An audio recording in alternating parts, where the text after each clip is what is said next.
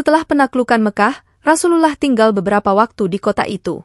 Tak lama kemudian, beliau mendengar bahwa suku Hawazin yang dipimpin Malik bin Auf al-Nashri telah menghimpun pasukan untuk menyerang Rasulullah, didukung suku Sakif dan beberapa suku lainnya di sekitar Mekah.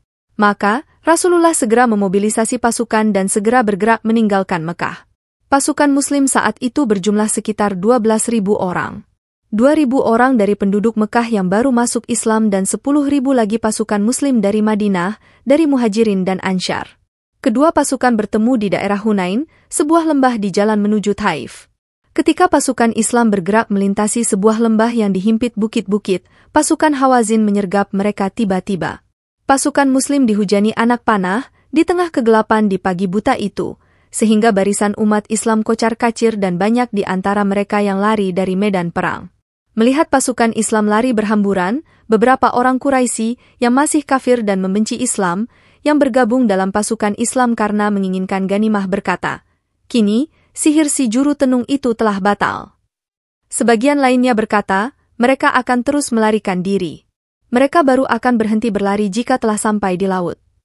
Lalu, apa yang dilakukan Rasulullah ketika menyaksikan pasukannya kocar kacir, apa yang beliau lakukan saat 12.000 orang pasukannya, hasil perjuangan puluhan tahun itu nyaris hancur dan musnah.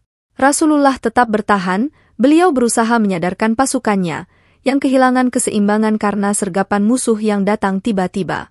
Ketika pasukan muslim kocar kacir melarikan diri ke berbagai arah, pasukan Hawazin mulai bergerak menuruni bukit untuk menghancurkan pasukan muslim.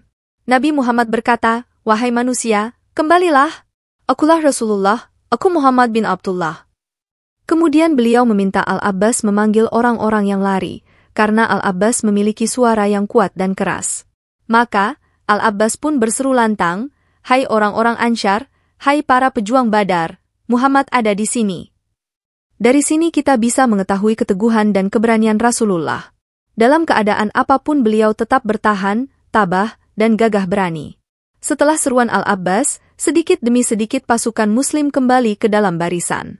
Jika hewan tunggangannya tidak mau dibelokkan, si penunggang turun dan menghelanya menuju Rasulullah sambil berseru, Aku penuhi panggilanmu, wahai Rasulullah. Selanjutnya, peperangan berlangsung sengit. Dalam peperangan ini dua suku bangsa Arab punah seluruhnya. Pasukan Islam memenangi perang dan menahan ribuan orang, 22 ribu ekor unta, 40 ribu ekor kambing, dan 4 ribu ons emas. Semuanya digiring ke lembah Jiranah.